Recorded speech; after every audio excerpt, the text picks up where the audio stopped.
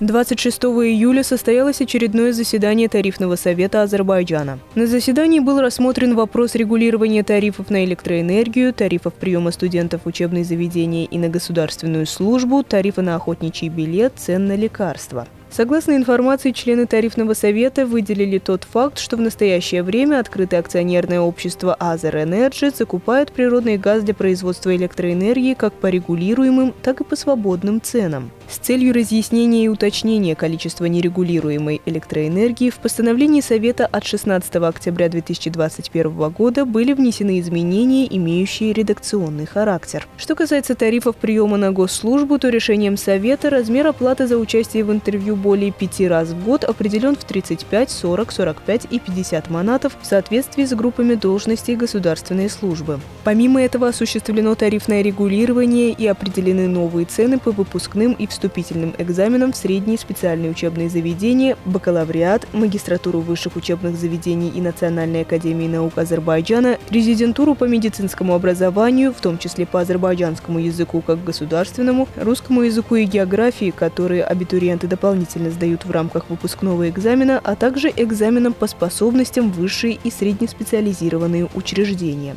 Так, абитуриенты, впервые принявшие участие в вышеуказанных вступительных экзаменах, и дети лиц, которые получили инвалидность в связи с защитой территориальной целостности, независимости и конституционного строя Азербайджана, независимо от числа участия, члены семей шахидов, дети, потерявшие родителей и лишенные родительской опеки, лица, имеющие статус вынужденных переселенцев, лица, которым установлена инвалидность первой и второй степени, в том числе для детей с ограниченными возможностями здоровья до 18 лет, плата за участие в экзаменах экзаменах осуществляется за счет средств государственного бюджета. Помимо этого были утверждены цены на 337 лекарственных средств, недавно зарегистрированных в Азербайджане. Так, на сегодняшний день оптовая и розничная цена и дата вступления в силу 13 369 лекарственных средств были утверждены с учетом их торгового названия, фармацевтической формы, названия действующего вещества, дозы, коммерческой упаковки, количества упаковки, страны производителя. Тариф на охотничий билет также подвергся регулированию. Стоимость выдачи охотничьего билета исключена из утвержденного постановлением Кабинета министров Азербайджанской республики перечня товаров, цены на которые регулируются государством, поскольку, согласно закону Азербайджанской республики о государственной пошлине, за его выдачу установлена госпошлина. В связи с этим были отменены постановления Тарифного совета о регулировании стоимости охотничьего билета, выданного Министерством экологии и природных ресурсов Азербайджана, и о регулировании стоимости охотничьего